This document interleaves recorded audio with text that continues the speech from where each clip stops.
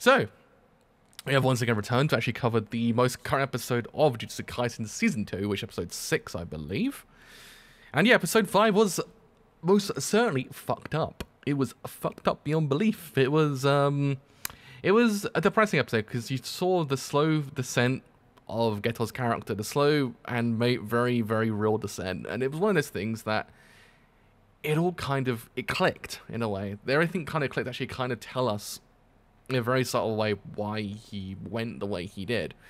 And with the way he went, it you kind of it, it was. It, don't get me wrong. It's not. It's. It. I wouldn't ever justify any actions a character does. Any any character does. God, God, the heat's getting to my head.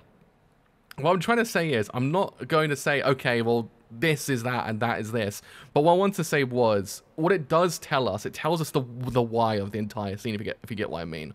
It tells us the wire of everything, and that's what the most important fa- factor is into the whole entire episode.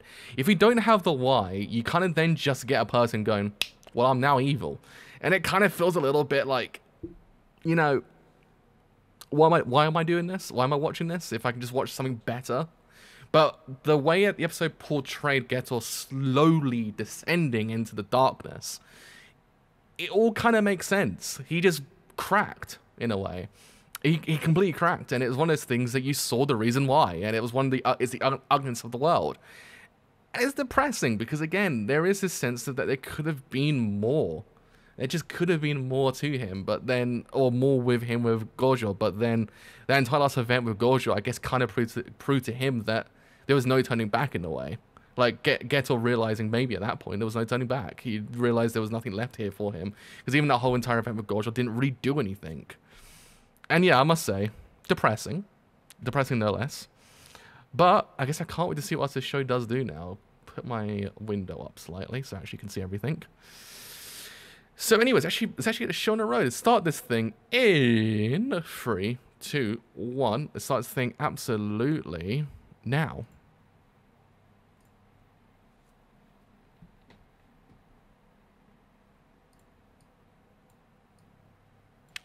There is no sound. I realize that. Hold on a second. What's in that sound? Why did it turn the sound off? Right. Give me a second. Sorry. It was being it was being it was being weird. Right. It starts thing in three, two, one. It starts this thing absolutely now. I think the reason why is because um I think the reason why is because there was no there was no dub to it, so it defaults to English because I changed it to Japanese. It doesn't know to then default to Japanese for some reason. I don't know why. Computers basically makes no sense.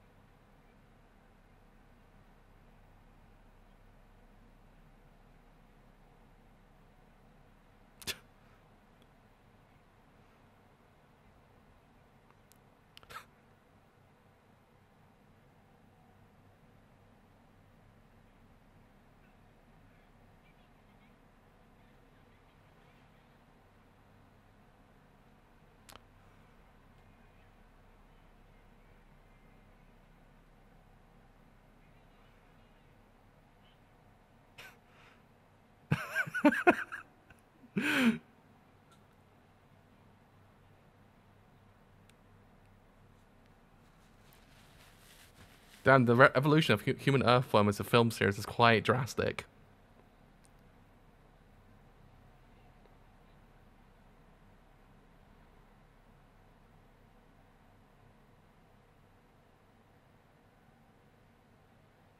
I thought it was going to be some like random reference to like human centipede or something. I didn't think it would go that far.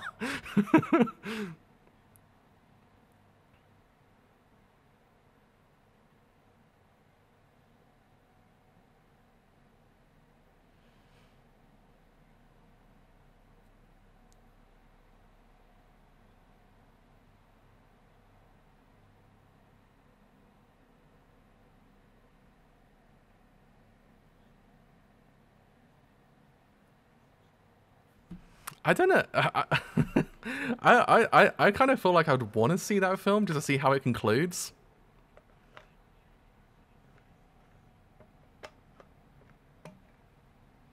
It's one of those things. I'm like, I kind of need to see how that concludes.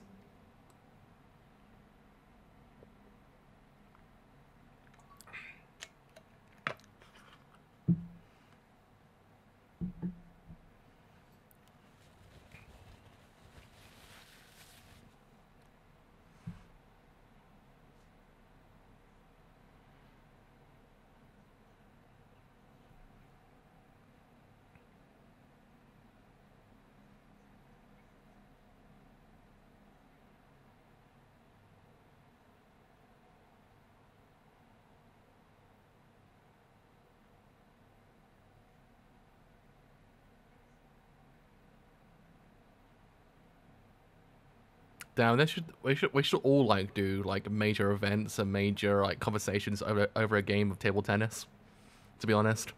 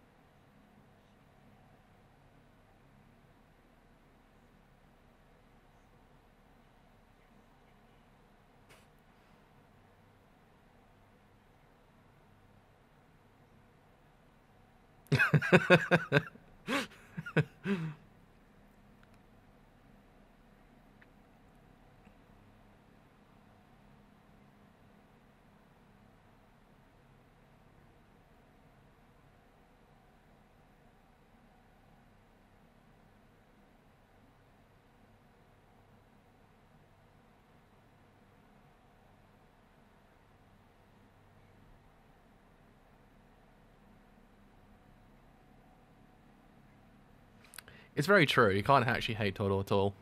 I feel like he's one of those guys that he's just it's impossible to hate him. Oh, the new opening. I know I talked about subtlety last uh, stream about how this episode, how the episode prior was very subtle. This opening is not very subtle at all. I just, I was watching, I was like, wow. I do appreciate the idea that it, they just they just they threw everything at it. And it's sort of one of those things that you don't pick up on it unless you know, or unless you unless you go back and watch it again. Once the epi- once your series is over. Opening's really good though. I do really like it.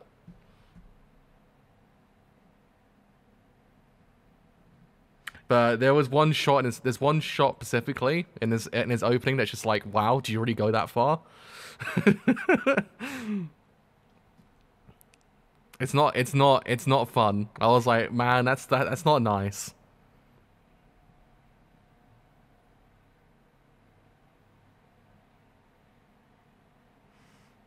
I feel like people would know what shot I'm talking about as well. It just literally just happened. What I also liked about the opening as well, which is what I kind of liked, is the idea of actually how season one was about uh, Gojo lifting up his mask, or his eye mask, I should say, really. But this opening has him putting the glasses, uh, the glasses down, putting the mask down to cover his eyes once again. I thought it's a kind of an interesting dichotomy of like openings. I like that part about it because one of those things, even the shot with his eyes isn't like the typical shot you saw in season one. It's more or less like there's a there's a shot of fear in there.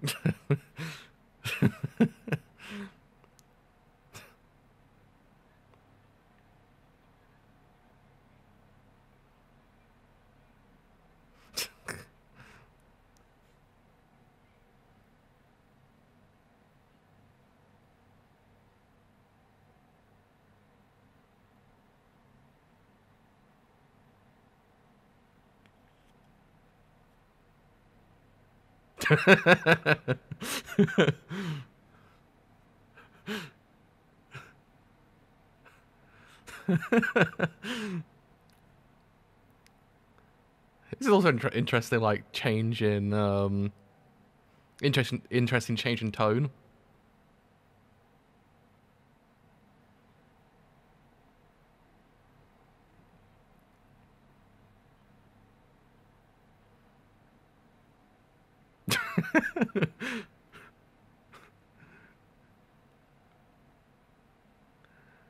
I like how she went blah blah blah, but he, he like he knows, he he knew what he, he knew what he what, what she was talking about.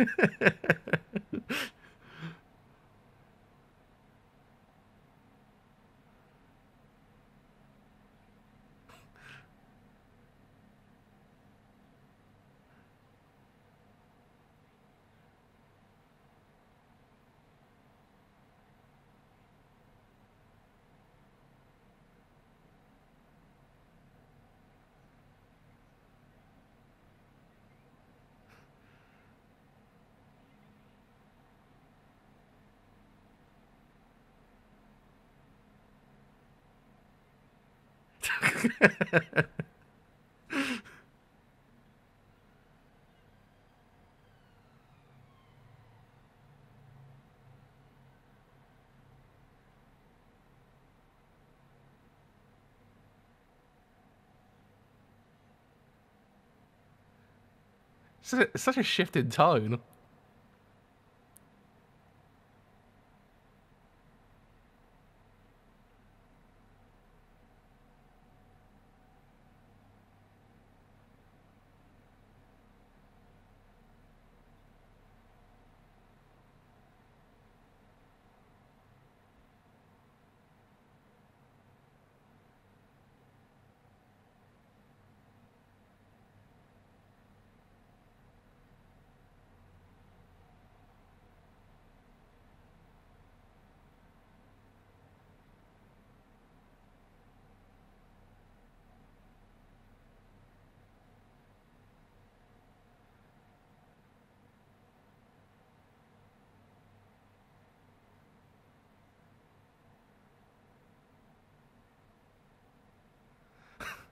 I'm so confused. Went from fucking depression to like unrequited love. this makes like 20 minutes.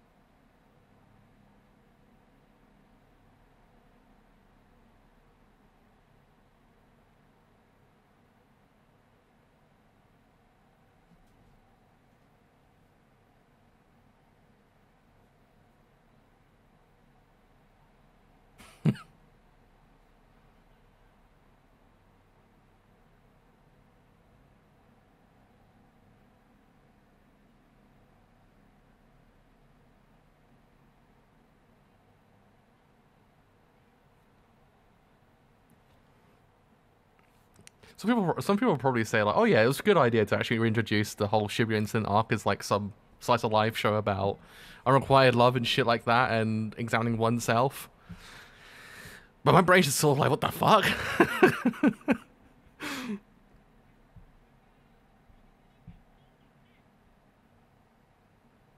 but that's it. Okay, no, it's not it. I was confused. I was like, wait a minute, that can't be it. You can't just end it there.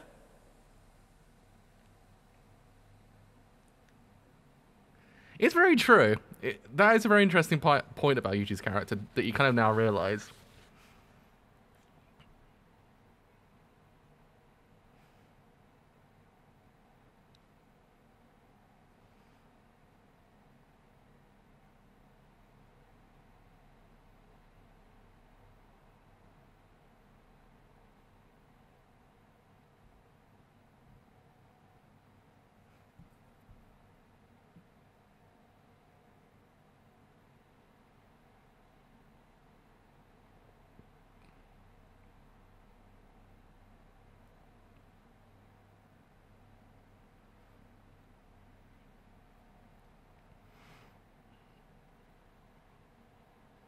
I'm still glad season two started with a whole thing about the past. To be honest, because this was the opening of season two. Fucking hell, it'd be such a weird like reintroduction. It all just comes out of left field.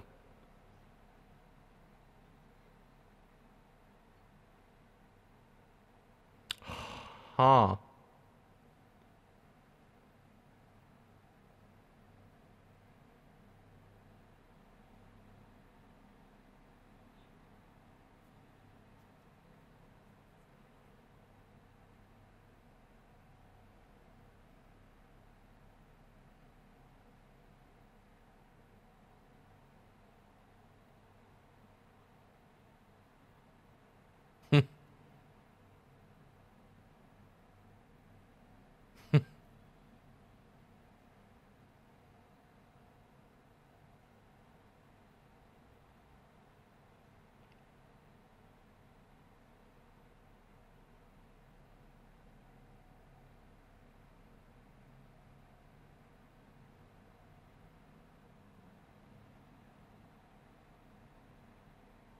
I do sort of like the prior section though. It's sort of really it's a nice exploration of Yuji's character as well. I kind of like that bit about it.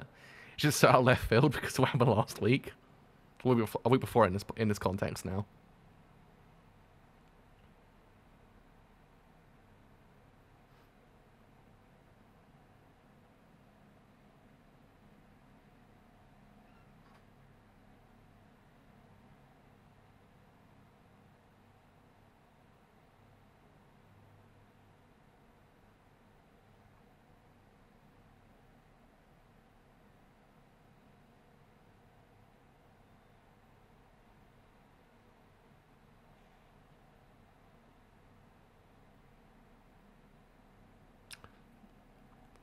Empty room. What the fuck?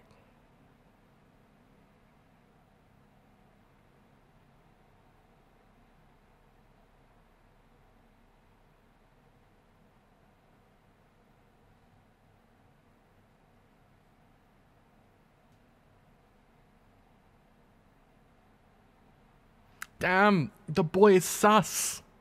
He's a bit, he's a bit sussy. Can't believe it.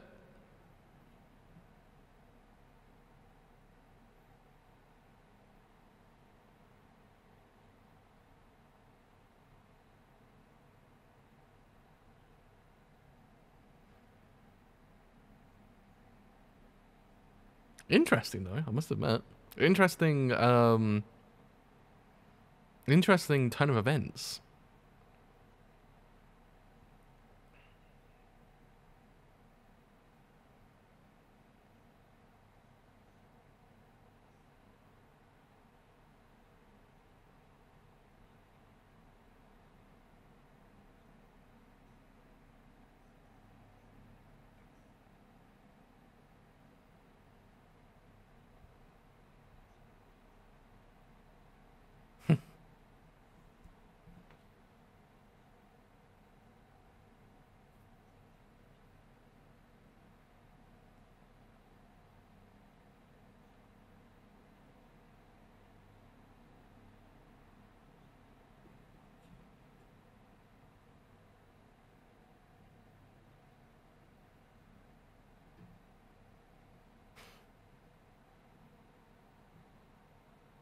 I do sort of like how they handle Mahito and uh, and Geto's character, because don't get me wrong, they're fucking evil and pretty um, pretty bad. Even though we know a bit more about Gojo's, Gojo Geto's character, but they're sort of you just kind of like ordinary in a in a very interesting way.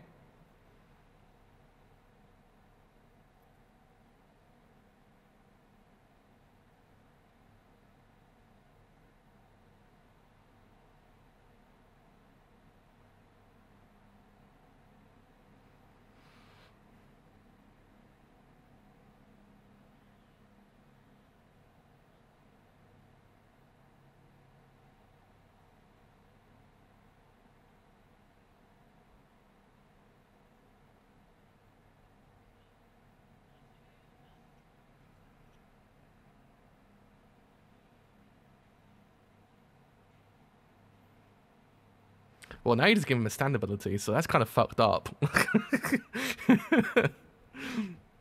the man sort of got more. The the man still got more power now.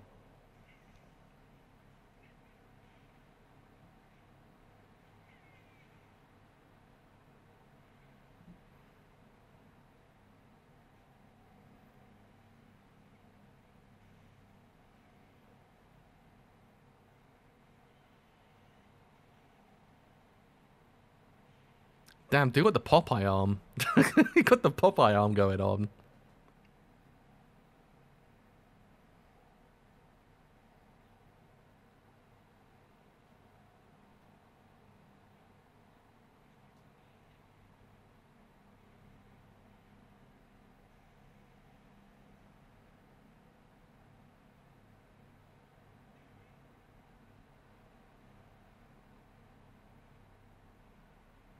Don't think it's a good idea to fight someone that crazy, to be honest, because every single thing you'll do to him, he's just like, ah, it's kind of fun.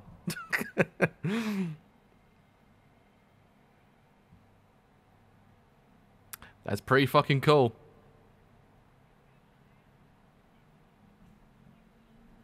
I said cool, not cold, but thanks translations.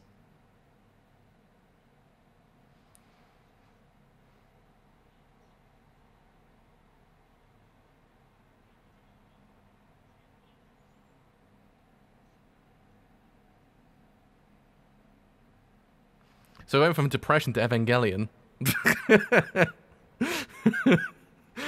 that's how. That's that's the that's we went from depression to um, our unquiet love, the anime series, to Evangelion 2.0.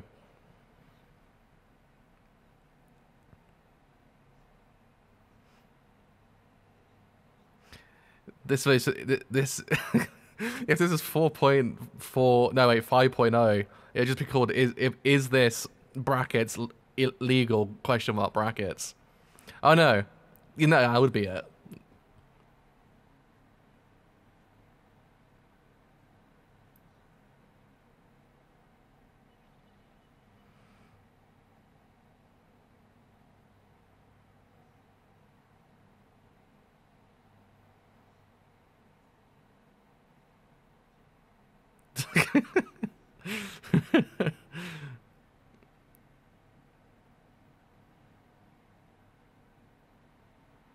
Honestly, it's just.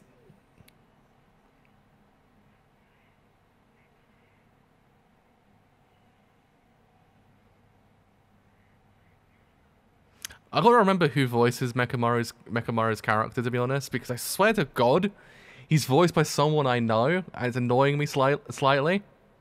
I'll go get it a minute. I swear, isn't it the guy who voices um, he voices um, oh what's his face from uh from Daimon Muramasa? Um, God, Lord, Kagaki. That's it. I swear. I'm, I have to go. And, I have to go and Google it quickly. I swear it's him. Because it is. It'd be kind of funny. It'd be kind of on brand.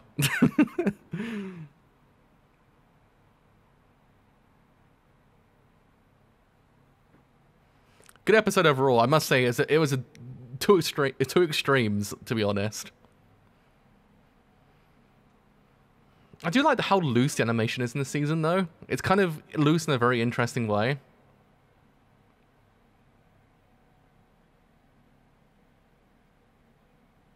People are like, ah, I don't like this level of like animation, shit like that. But I always kind of like the like more loose more experimental aspect of animation. I feel like experimenting a lot with how this show looks and the, how it portrays certain events, and I kind of feel like it to be really interesting as well. I feel like even season two is sort of devoid of color as well. Like there's not, there's no sense because I mean, you can you can kind of tell from the way the prior episode ended that it up, upholds the entire A bit of um, dust on my screen. It's annoying me. Um, you could tell that it is going to go into something quite major, and even the way that you saw uh, Utahime as well, it was just devoid of color. It was kind of very kind of depressing in that way.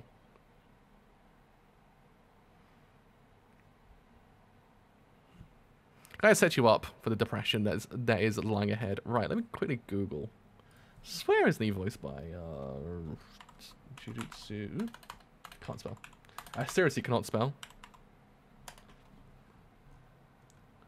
Uh, just need the prior bit. Uh, where's Mao? Swear he's voiced by him.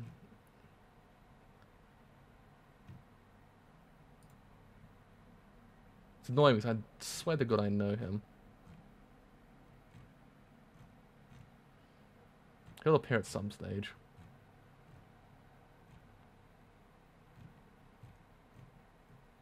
Muta, sorry. No, I'm wrong. I could have sworn he's voiced by someone, another dude I remembered, but it's not. It's it's actually Kirito. Son of a bitch. I thought it would have been kind of on brand, but it's not Kagaki's character. I was wrong.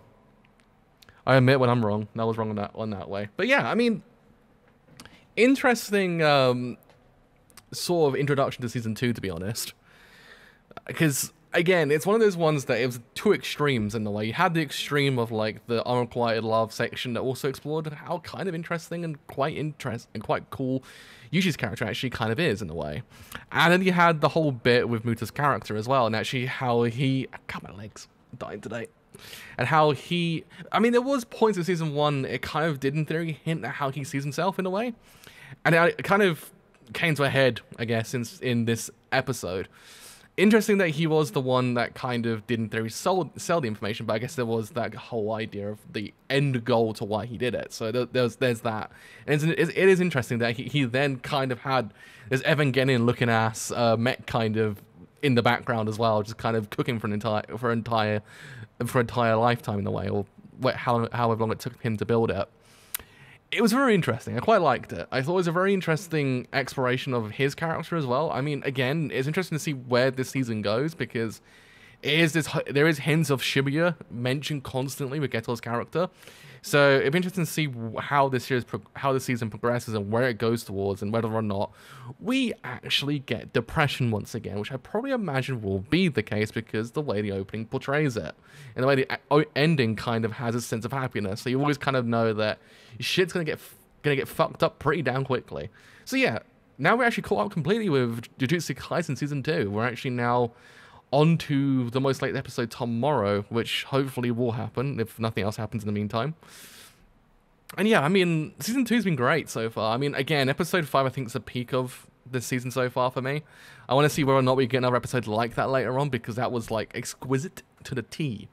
It was it was amazing, and I like and I love how this how the season actually is progressing. Actually, how direction is really important as well can't go understated how they portrayed the whole unrequited love section as well. That was really well done because it kind of, it kind of go, it kind of harkens back to that kind of like those series watched as kids. The idea of like when someone loves someone else, but then whether or not they actually do actually love them completely, and that kind of like feeling the way it kind of shows it in the the scenes as well. It's very reminiscent of that kind of era of when we were, when we were kids. It's actually really well done in that way because it's not the kind of typical like you know how it kind of shows in other animes. It kind of it kind of does it in a very very interesting way. And I kind of liked it. I thought it was actually really well done.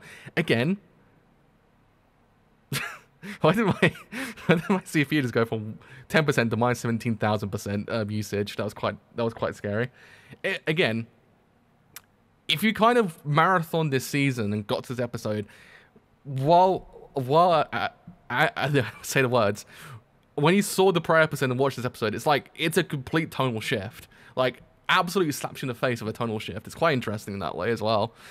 And how it fits as well, which is an interesting idea as well, how it can have this tonal shift, but doesn't really feel like it's like, what the fuck? I mean, it does feel like what the fuck, but it doesn't really feel like what we doing here? Kind of thing.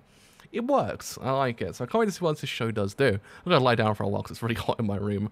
I'm pretty much, I'm pretty much gonna pass out in a minute because my every time I cough, my head hurts. So I feel the heat slowly um, going over me at this point. So yeah, I think I lie down. I have now consumed more anime in one single session. I have in like two years almost. So you actually have enjoyed this entire stream as a whole on YouTube, and as always, do leave a follow, do leave a follow, do leave a like on YouTube because it does help quite a bit. She have then enjoyed this entire stream as a whole on YouTube as well, and as always, do, a, do leave a sub as well, helps quite a bit as well. She have then enjoyed this entire stream as a whole on YouTube, and as always, do, do leave a follow on Twitch. Helps quite a bit. Also, actually, will then know when actually you actually see these streams live. Sorry and any other, any other streams, I do as well on Twitch, because I do stream every, every day on Twitch, almost every single day, I should say. We do everything and everything on Twitch now, so do come by and actually, and actually have a fun time as well. So also do do leave a, do leave a follow on Twitter as well. Because that's help quite a bit. Also, you will then know when the streams are live and any other streams I may do as well. So until next time, with some more Jujutsu Kaisen season two, which will be tomorrow hopefully. Till then, see you guys. See you guys later. Bye for now.